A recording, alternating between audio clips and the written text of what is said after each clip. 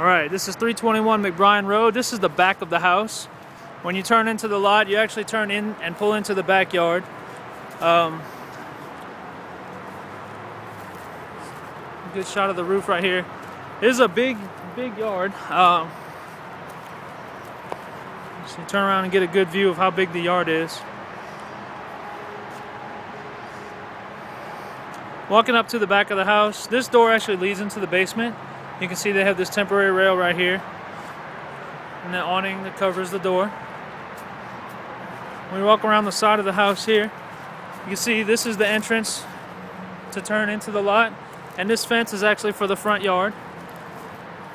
And the side door right here. And that board that you see, that's in the sunroom. There's a window that is broken in there.